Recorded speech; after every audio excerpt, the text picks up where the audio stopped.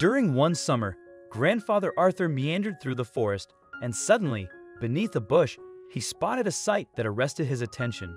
A wolf cub nestled in a ball, still in the tender stages of puppyhood. As Arthur approached, the young one showed no inclination to flee. Instead, it remained motionless, thin and gaunt, its skeletal frame betraying its malnourished state. What had befallen this creature? And why did it not attempt to escape? These questions occupied Grandfather Arthur's thoughts as he drew closer to the wolf cub, which made futile attempts to flee, hindered by a broken paw. Arthur's heart went out to the wolf cub. Crippled and abandoned by its mother, it had faced a cruel fate. Determined to help, he gently captured the cub, placing it in a bag and transporting it home.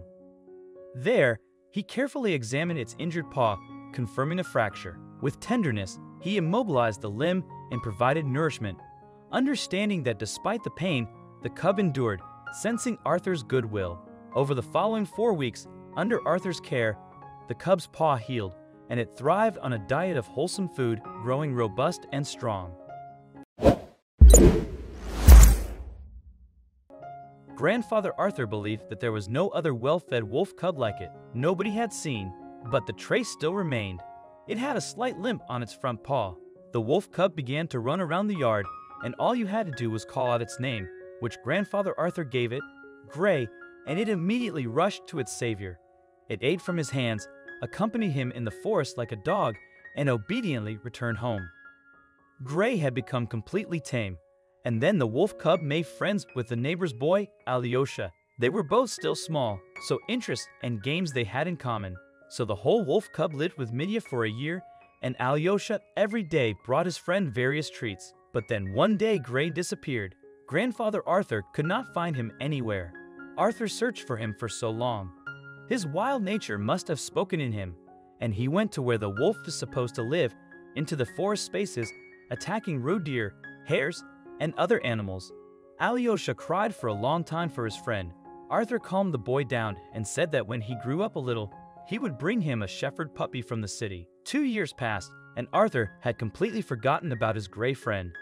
He lived a quiet life in the village, and suddenly one day, a tearful Maria, Alyosha's mother, came running. In the morning, he went for a walk and disappeared. Maybe he went into the forest to pick berries and got lost. Maria ran to gather people to search for her son, and grandfather Arthur collected his hunting equipment and went into the forest to look for Alyosha. The boy had nowhere to get lost except the forest. After four hours of searching, Arthur suddenly heard someone running from the thicket. It rushed as fast as it could, breaking branches noisily. It was already very close. Arthur took off his gun and cocked the hammer and prepared to shoot.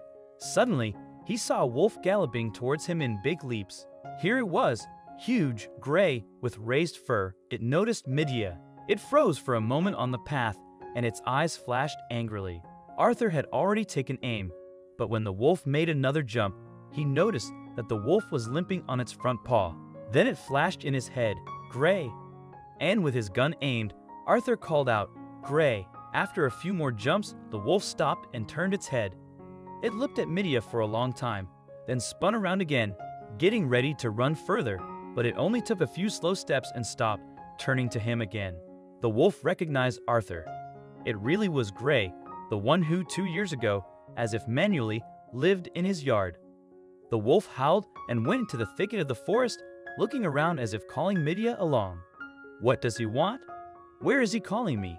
Thoughts spun in the old man's head. Having walked a hundred paces, he saw Alyosha sleeping in the bushes, and next to him lay Gray. So this is where you called me? Native, cried out joyfully grandfather Arthur. You are protecting Alyosha here, your friend.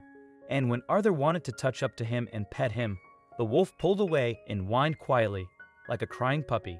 Still, fear lived in him, because Arthur was a man, the most fearsome enemy of the wolf race. The wolf had already lost the habit of Arthur over these two years, but Alyosha remembered and guarded him in the forest. Arthur took the boy in his arms and turning to the wolf, said, Thank you, Gray, for saving Alyosha. Go your way, he said. Arthur walked towards the house, but Gray did not leave and followed Arthur, limping slightly and whined as if he wanted to say something. So they reached the edge from which the field began. Here the wolf stopped, and while Arthur and Alyosha moved away, it watched them for a long time and then slowly, like reluctantly, he disappeared into the forest. A little later, Arthur heard his howl, lingering, plaintive, definitely a sob. Apparently, the wolf said goodbye forever to his savior Arthur and little friend Alyosha. If you like this story, then please give a thumbs up and share it with your loved ones. Also subscribe and press the bell icon to never miss the update from our channel. Thank you.